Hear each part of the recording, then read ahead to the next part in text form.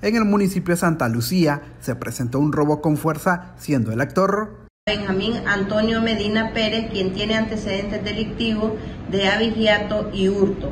Este delito eh, fue en perjuicio de la persona identificada con iniciales RCMU, a quien intimidó con arma cortopunzante, lo despojó de su teléfono celular y dinero dos delincuentes presos por el delito de robo con fuerza en el municipio de Huaco.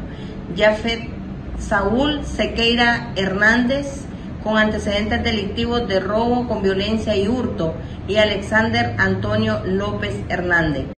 Un abastecedor de droga fue capturado en el municipio de Camuapa. Jeffrey Antonio Farga González, la droga ocupada del delincuente, dos libras de marihuana y en la cabecera departamental de Boaco se capturó a dos sujetos por violación. Yacek Spliner Pérez Díaz y Sliener Sadiel Hernández Oporta.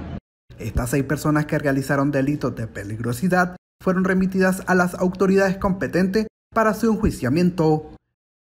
Desde Boaco, Alexander Acevedo, TV Noticias.